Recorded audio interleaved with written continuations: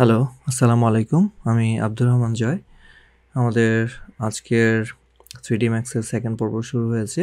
এই পর্বে আমি শুরু করতে যাচ্ছি 3D Max এর UI ইন্টারফেস নিয়ে বা ইউজার ইন্টারফেস নিয়ে। আমরা এই স্ক্রিনে যে জিনিসটা দেখতে পাচ্ছি এটা মূলত পুরোটা একটা ইউজার ইন্টারফেস।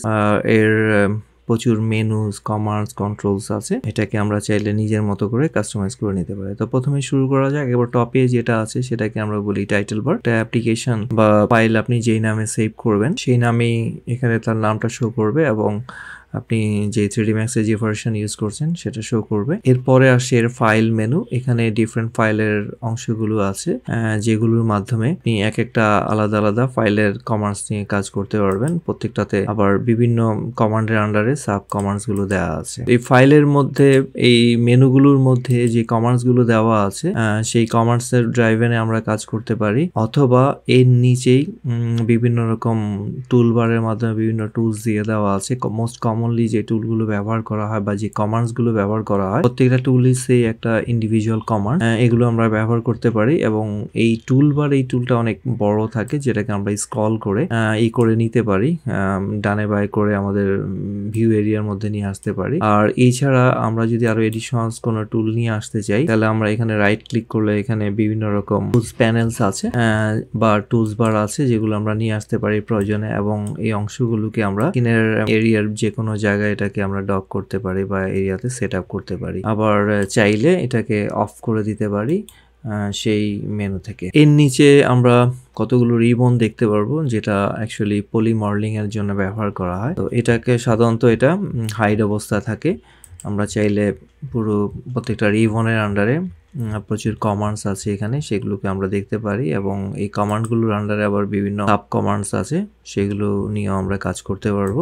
তো এখানে পলি মডেলিংয়ের এর সাথে যতটুকু আছে কমপ্লিট পলি মডেলিং এর সাথে ম্যাটেরিয়ালস মডেলিং যেসব প্রপার্টিসগুলো আছে বা যেসব কমান্ডের মাধ্যমে একটা মডেলকে আমি ডিফারেন্ট ভিউতে নিয়ে যেতে পারব সেটা এরপরে আসছে এর ভিউজ, লাইট এন্ড রেন্ডারিং বিভিন্ন রকম টুলস বা কমান্ডস এখানে অ্যাক্টিভ করা আছে। তো আমরা প্রয়োজন না হলে এটাকে আমরা হাইড করে রেখে দিই। এন একেবারে নিচের দিকে লেফট হ্যান্ড সাইডে আছে আমাদের যেই ওয়ার্কিং এরিয়া সেই ওয়ার্কিং এরিয়ার মধ্যে বাই ডিফল্ট চারটা ভিউ থাকে পার্সপেক্টিভ, অন ভিউ, টপ এবং লেফট। তো এই এখানে আবার একটা কমান্ড বাটনস আছে এই বাটনের মাধ্যমে আমরা চাইলে এই জিনিসগুলোকে আমরা চেঞ্জ করে নিতে পারি। এখানে ক্লিক করলে আমরা এগুলো যে ওয়ার্কিং যে ভিউগুলো আছে, এই ভিউর বিভিন্ন রকম লেআউট এখানে আমরা উপস্থাপন করতে পারি। আমাদের যেরকম প্রয়োজন সেরকমই আমরা সাজিয়ে নিব। আর না হলে আমরা বাই ডিফল্টে আমরা কাজ করব। এর পাশে যে অংশটা আছে এটাকে আমরা বলি অবজেক্ট বা সিন এক্সপ্লোরার। এই সিনের মধ্যে আমরা যেসব অবজেক্টগুলো ক্রিয়েট করব সেই অবজেক্টের আ হায়ারার্কিটা এখানে শো করবে। এর মাধ্যমে একটা অবজেক্টের নেম চেঞ্জ করা যায়, রিনেম করা যায় এবং অ্যারেঞ্জ করে সাজানো যায়। এগুলোকে ভিউজ এবং লক মোডে নিয়ে কাজ করার সুবিধা আছে এবং এর পাশাপাশি অনেকগুলো এরকম টুলস থাকে যেগুলোর মাধ্যমে আমরা বিভিন্ন অবজেক্ট ক্রিয়েশন থেকে শুরু করে অবজেক্ট মডিফিকেশন এবং আদার কমান্ডস এর মাধ্যমে একটা অবজেক্টকে সুন্দরভাবে প্রেজেন্ট করতে পারি। এরপরে আসছে আমাদের যে ভিউ এরিয়া এই ভিউ এরিয়া বাই ডিফল্ট চারটা ভিউতে থাকে। পার্সপেক্টিভ এটা হচ্ছে 3D ভিউ আমরা যখন কোনো একটা অবজেক্ট ক্রিয়েট করি, এখানে আমরা পার্সপেক্টিভে আমরা এটার 3D ভিজুয়ালটা দেখতে পাই। আর বাকি যেটা তিনটা অর্থোগ্রাফিক্স আছে, এই তিনটা হচ্ছে মূলত 2D ভিউ। তো এগুলোকে আমরা প্রত্যেকটা ভিউকেই নিজেদের প্রয়োজনে চেঞ্জ করে নিতে পারি। যেমন টপটাকে আমি চাইলে লেফট করে নিতে পারি এল প্রেস করে। আবার টি প্রেস করলে আবার সেটা টপে ফেরত আসবে। প্লাস এর সাথে যেসব মেনুগুলো আছে এই মেনুগুলো দিয়ে আমরা এখানে কাজ করতে পারি। প্লাস আমরা চাইলে এখানে ক্যামেরা ভিউ নিয়ে আসতে পারি। তো প্রয়োজন অনুযায়ী আমরা আমাদের প্রয়োজন অনুযায়ী এগুলোকে অ্যারেঞ্জ করে নিব। এর পাশে যে অংশটা আছে যেটাকে আমরা বলি কমান্ড সেন্টার এখানে বিভিন্ন রকম কমান্ড এরিয়া আছে। এই কমান্ডগুলোর মাধ্যমে আমরা অবজেক্ট ক্রিয়েট করা, অবজেক্ট মডিফাই করা এবং অবজেক্টের সাথে রিলেটেড যে আরও যেসব প্রপার্টিসগুলো আছে সেগুলো নিয়ে কাজ করতে পারি এবং এই প্রত্যেকটা মেনুর আন্ডারে আবার কিছু টুলস আছে একবার ট্যাব আছে এটাকে আমরা বলি টুলস উইন্ডো বা ট্যাব। এগুলোর আন্ডারে প্রচুর অবজেক্টস আছে যেমন ধরুন three D objects, 2D objects, light, camera and helper এগুলো বিভিন্ন রকম প্রপার্টির মাধ্যমে আমরা এগুলো তৈরি করতে পারি। কমান্ডের মাধ্যমে এবং এর সাথে আবার আছে এর প্রপার্টি প্যানেল যে কোনো একটা অবজেক্টে আমরা যখন তৈরি করি, তৈরি করার পরে আমরা যখন অন্য জায়গায় চলে যাই, তখন আমরা এটাকে মডিফাই করতে পারি। এর প্রপার্টি প্যানেলের মাধ্যমে যেমন এর সাইজ এর উইথ হাইট সব কিছুই এখানে চেঞ্জ করে দেওয়া যায়।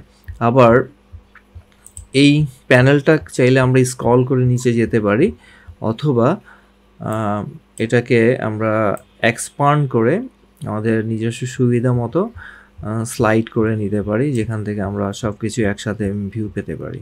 কাজের সুবিধার জন্য যার যেরকম সুবিধা হয়, সে সেভাবে এটাকে সাজিয়ে নেবেন।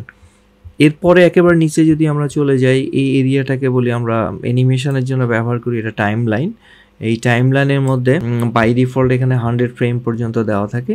বার চাইলে এটাকে আমরা পরবর্তীতে ফ্রেম বাড়িয়ে নিব। তার নিচে হচ্ছে কার উইন্ডো যেটার মাধ্যমে অ্যানিমেশন আরও সুচারুরূপে বা স্মুথলি হ্যান্ডেল করার জন্য বিভিন্ন রকম কমার্স দেওয়া আছে।